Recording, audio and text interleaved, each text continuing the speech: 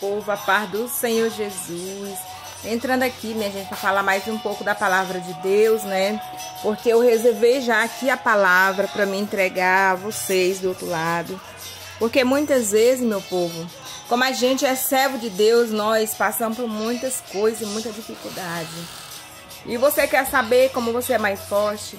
É como Satanás começa é, te acusar, começa a levantar contra você dentro da sua casa, entendeu? Começa a fazer coisas que até a gente admira, a gente fica perguntando, mas Senhor, mas o que foi que eu fiz? Senhor, o que foi que eu, onde foi que eu errei?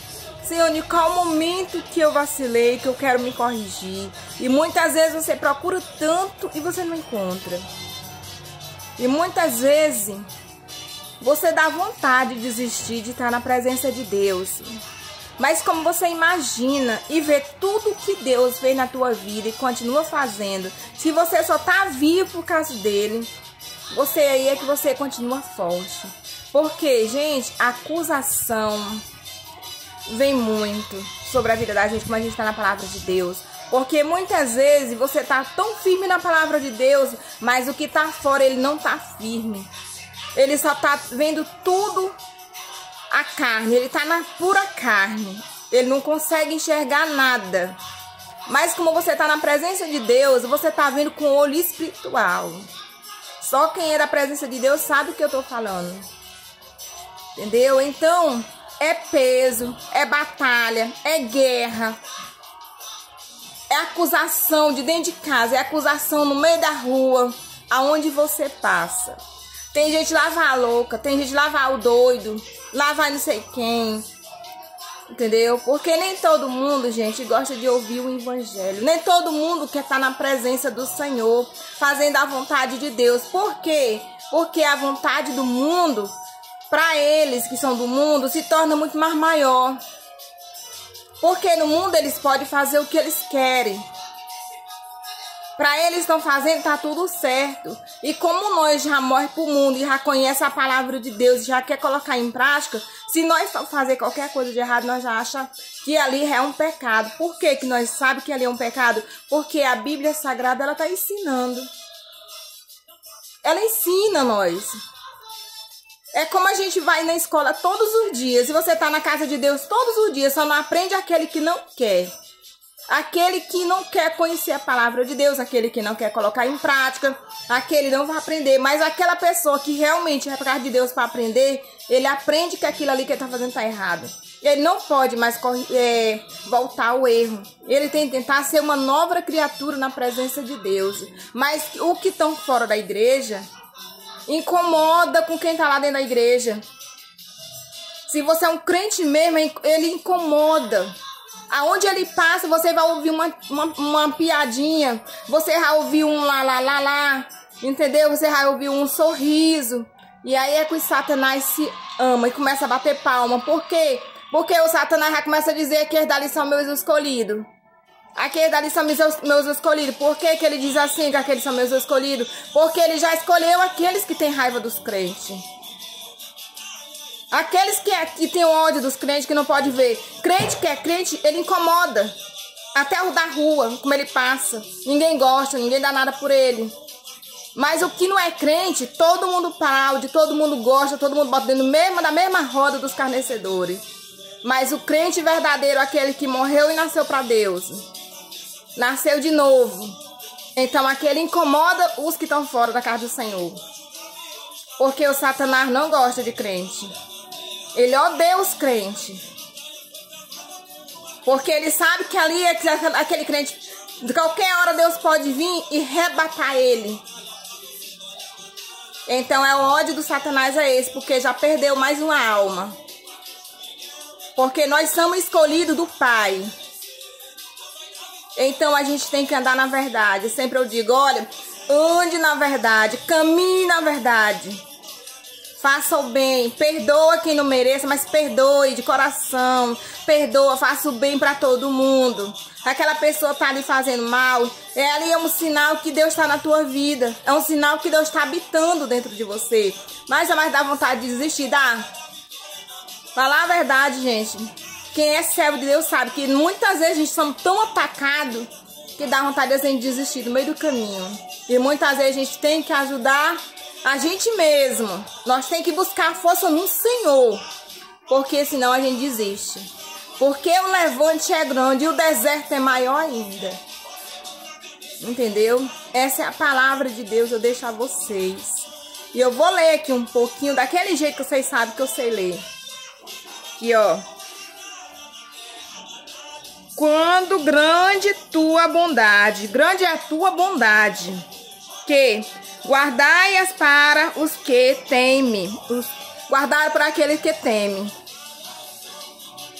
E que mostrarei o que espera em ti, mostrarei o que espera em ti diante do filho do homem, diante do filho do homem.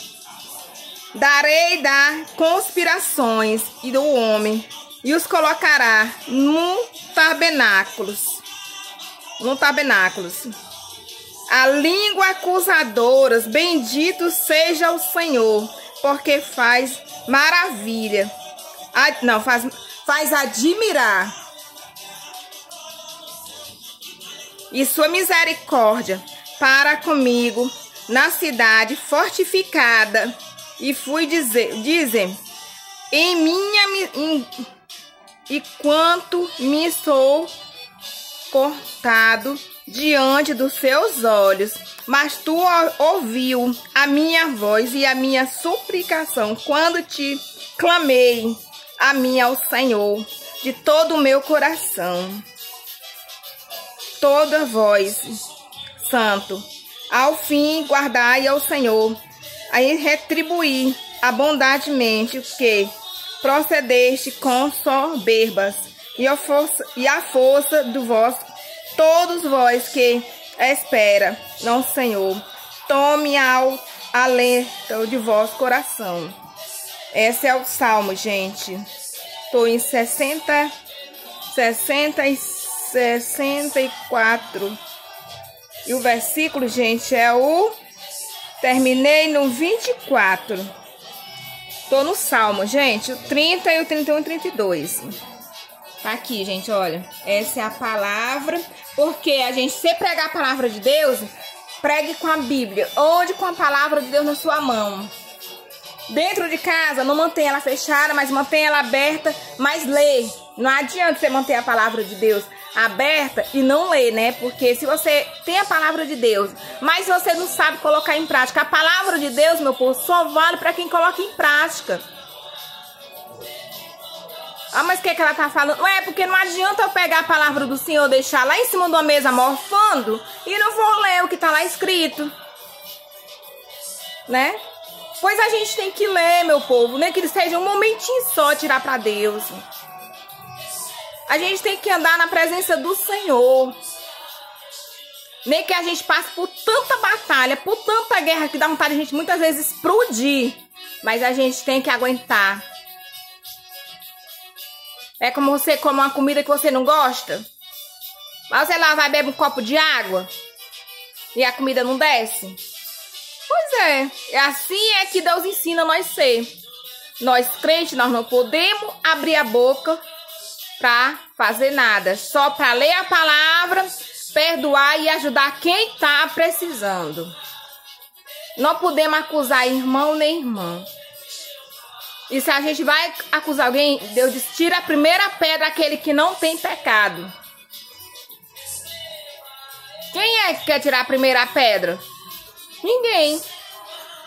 Mas que como você morre para Deus, para o mundo, né? Para Deus não, para o mundo, e você, Deus vai lá te reviver de novo. Você torna a nascer de novo uma nova criatura na presença de Deus. E é uma nova veste. Você tem que renovar sua veste. Não suje ela. Não suje ela e não venda ela. Entendeu? Faça de tudo para você não perder o dom maravilhoso que muitas vezes você deve ter que Deus lhe deu. Faça sempre o bem. Mesmo que não tenha quem veja, mas Deus vê tudo. Deus diz que até nosso fio de cabelo é contado. Como cair no chão, ele sabe. Ele não vai saber que você tem um dom maravilhoso? Se foi ele que te deu. Né?